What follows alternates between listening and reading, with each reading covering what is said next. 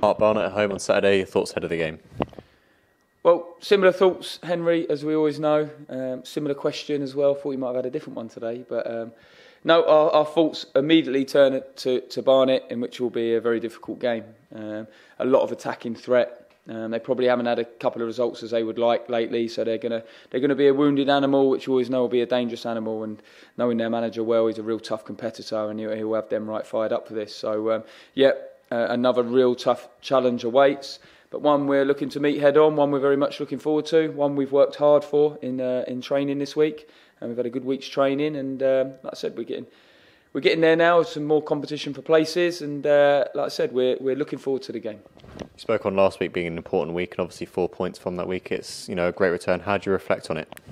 Um, so I think two clean sheets. So I think it was actually five points, two draws and a, and a win, if my memory serves me right but I don't often, I might be wrong because I don't look back too often. I'm only looking ahead. But uh, yeah, two, I think two clean sheets was obviously um, a, a, real positive. Um, very unfortunate having led for so long in the other game as well. So um, you know, could it could have been better, could have been a lot worse, but certainly given us a strong platform to build on.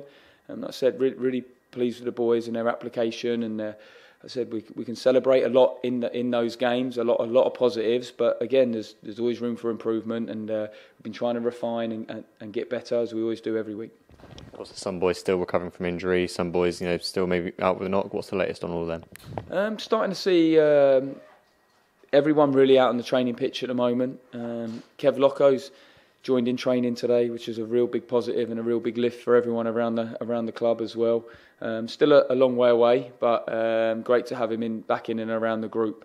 Um, he's, you know, like I said, he's a, a, real big presence around around the group, and he's someone who's who's been missed. So it's been it's been great to have him back in around the group, and um, yeah, everyone else is is fighting fit and uh, you know looking looking to put on that shirt.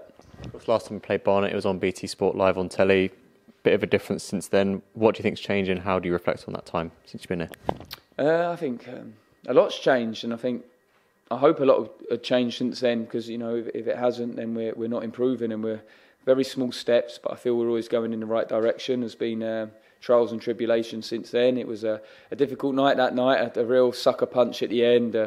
A great strike from them, um, and, and we were very unfortunate not to get something out of that game. But certainly, you know, looking for revenge in this game and, and to put put things right. But um, yeah, I think we've we've been on a on a journey already. And I think we're learning very quickly, everyone. And I said, I think the the group is um, a real together group at the moment. And when we look back at nights like that and those hardships, is why we probably stand strong at the moment.